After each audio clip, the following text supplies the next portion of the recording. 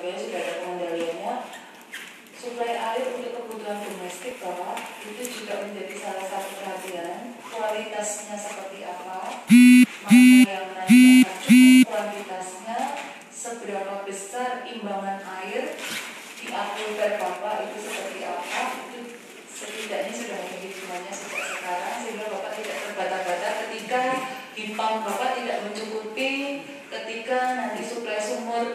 bor itu terlalu dalam atau terlalu pendek tapi waktu kembalinya nanti memakan waktu diambil 100 sekian per detik tetapi kembalinya 8 jam ke permukaan yang sama itu kan sebuah perbuatan yang sangat menyiksa alam. Jadi mohon nanti terkait air sumber daya air dan sumber daya pangan ini juga salah satu item yang menjadi shopping list bapak. Mungkin di masa mendatang dalam waktu harus ada kajiannya jadi bapak dan ibu.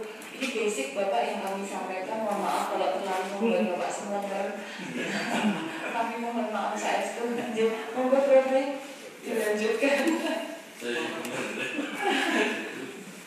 Sedikit tentang pangan tadi sebenarnya berangkat dari eh, sepengetahuan saya Kaltim itu masih sangat bergantung makannya dari Jawa Timur dari Sulawesi. sebagian Sulawesi jadi antar pulau itu selalu disuplai dari Sumatera sementara saja masih bergantung dari saudara-saudara kita di pulau lain.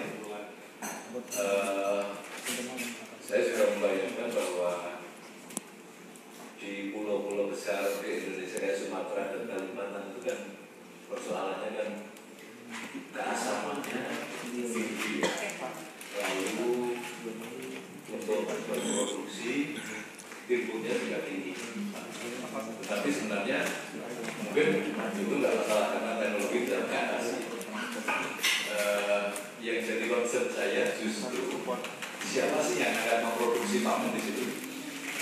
Apakah ada petani yang di Kalimantan sana skillnya memang by nature itu produsen pangan seperti orang-orang Jawa atau Bali.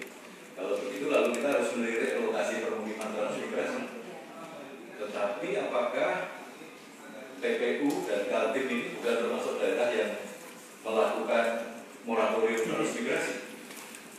Setahu saya baru Kalimantan Tengah yang membuka pintu untuk transmigrasi lagi itu di tingkat gubernur, di tingkat bupati saya tidak tahu pasti urusannya masih panjang. Jadi bagi saya yang agak ngeri-ngeri sedap itu urusan pangan ini.